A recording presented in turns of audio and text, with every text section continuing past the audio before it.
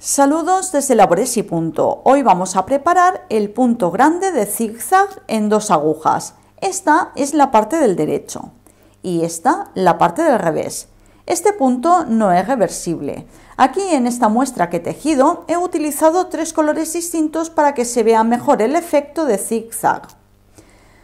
Para hacer esta muestra primero he tejido el trozo de inicio del dibujo Luego he tejido dos dibujos, que es el trozo que tenemos que repetir, y luego, para finalizar, he tejido el trozo del final del dibujo. Vamos a ver cómo tejerlo paso a paso.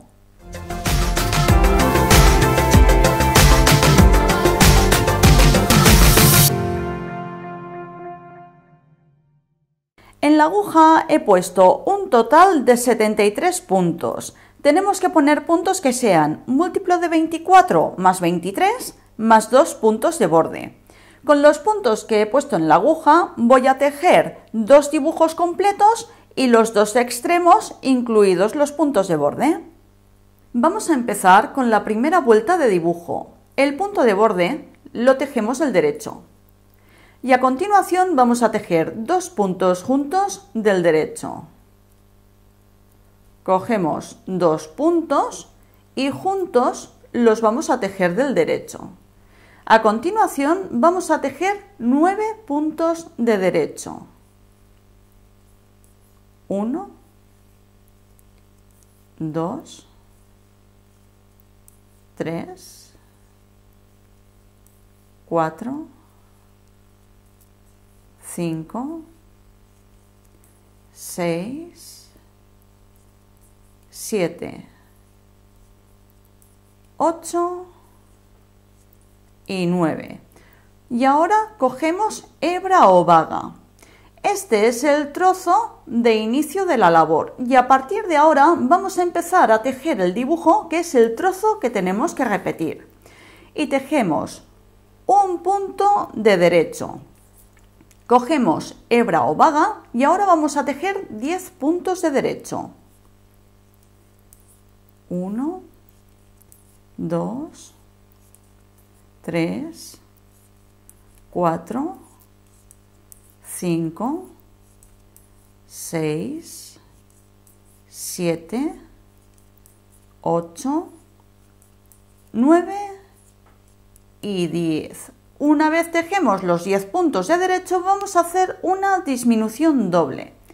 Para hacer la disminución doble pasamos el primer punto sin tejer a continuación tejemos dos puntos juntos del derecho y el punto que hemos pasado sin tejer lo enganchamos y lo sacamos por encima.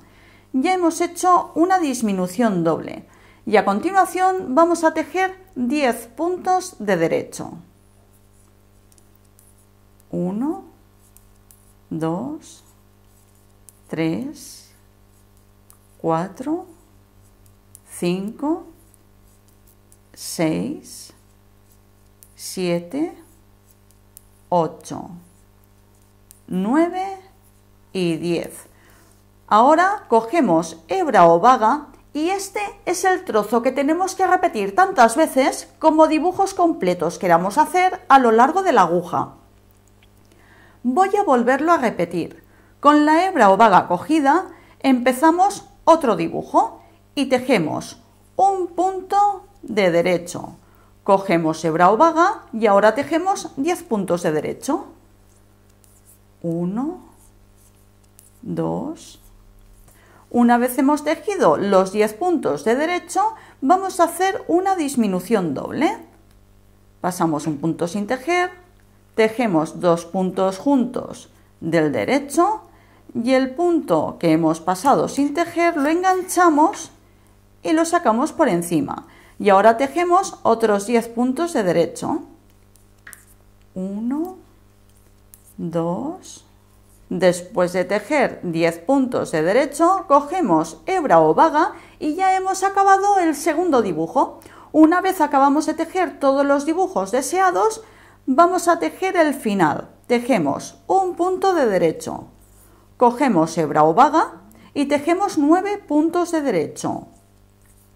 1, 2, 3, 4, 5, 6, 7, 8 y 9. Después de tejer los 9 puntos de derecho nos quedan 3 puntos en la aguja. Tejemos dos puntos juntos del derecho y el punto de borde que lo tejemos del derecho. Vamos a empezar la segunda vuelta de dibujo. El punto de borde lo tejemos del derecho. Y el resto de los puntos los vamos a tejer del revés normal.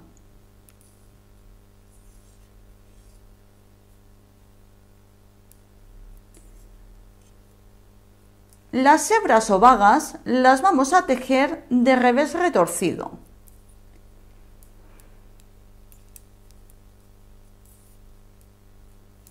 Una vez hemos llegado a una hebra o vaga, lo que vamos a hacer es tejerla de revés retorcido. Para eso vamos a hacer lo siguiente, nos vamos a ayudar con el dedo índice.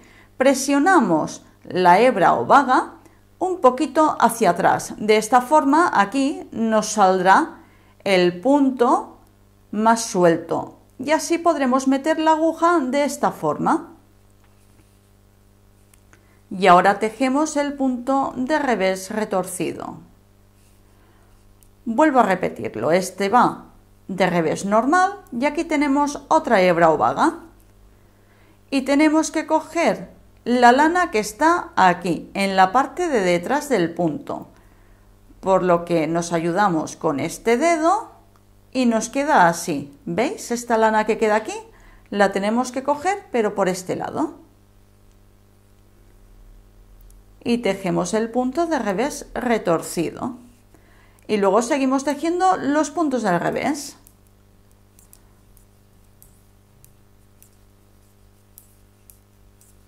Una vez hemos llegado a la siguiente hebra o vaga, hacemos lo mismo, presionamos un poco, metemos la aguja de esta forma y tejemos el punto de revés retorcido.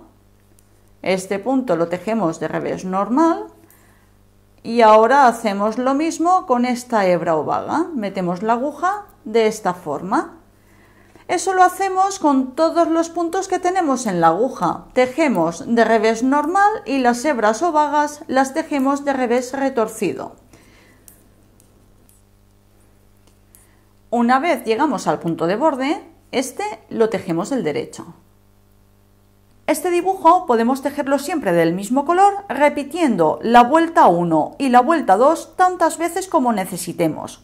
O bien podemos combinar varios colores hasta que completemos nuestra labor. Ahora vamos a ver cómo enlazar otros colores. Para eso vamos a tejer un total de 6 vueltas de este color verde. Ya hemos tejido dos vueltas, tenemos que tejer 4 vueltas más. Volvemos en la vuelta número 7. Una vez hemos tejido las seis vueltas, queda así. Ahora vamos a cortar esta lana y vamos a cortarla más o menos a un palmo. Ahora cogemos lana de otro color, medimos un palmo y dejamos un poquito más, unos 30 centímetros, y la doblamos por la mitad. Vamos a empezar a tejer la vuelta número 7, que va a pasar a ser nuestra vuelta número 1, ya que aquí es donde vamos a hacer el cambio de color. Esta hebra de lana, que es la que hemos cortado anteriormente, la vamos a coger de esta forma para mantener la tensión y evitar que este punto se haga más grande. Ahora metemos la aguja por el primer punto para tejerlo del derecho. Cogemos esta lana, que es la que hemos doblado anteriormente, y la vamos a meter de esta forma. Y vamos a tejer el punto del derecho. A continuación vamos a estirar de aquí un poquito para mantener la tensión y ahora vamos a tejer los puntos igual como los hemos tejido anteriormente en la vuelta número 1. Es decir, ahora tenemos que tejer dos puntos juntos del derecho. Y los tejemos con las dos hebras de lana juntas. Ahora lo que vamos a hacer es esconder las lanas tanto de inicio como la del final. Una vez tejidos dos puntos del derecho vamos a coger esta lana de color verde y la vamos a pasar por encima de la lana de color azul. y la volvemos a enganchar de esta forma. Y ahora tenemos que tejer los nueve puntos del derecho. Tejemos el primer punto, también con las dos hebras de lana juntas, y la lana verde la pasamos por encima. Esto lo vamos a hacer durante unos seis puntos más. Dos.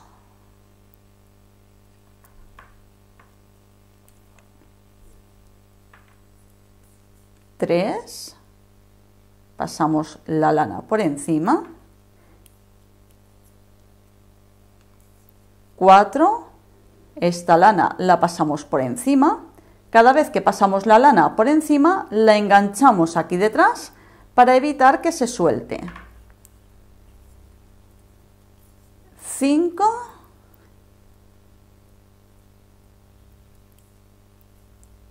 y 6. Una vez hemos tejido unos 6 puntos, da lo mismo que sean 4, 5, 6 que 7. Soltamos esta lana y también soltamos esta otra. Y a partir de ahora vamos a tejer solamente con una hebra de lana. De esta forma hemos escondido por aquí dentro las dos lanas, la de inicio y la de final. Y ahora seguimos tejiendo nuestro dibujo de forma normal. Este es el punto número 7, el 8, el 9, cogemos hebra o vaga. A continuación seguimos tejiendo la vuelta número 1 y la vuelta número 2 como lo hemos hecho anteriormente, pero con un color distinto de lana. Tejemos 6 vueltas con este color de lana y volvemos. Una vez hemos tejido 6 vueltas de color azul, queda así. Esta es la parte donde estamos tejiendo las vueltas impares. Y esta, la parte donde estamos tejiendo las vueltas pares, que es la parte del revés.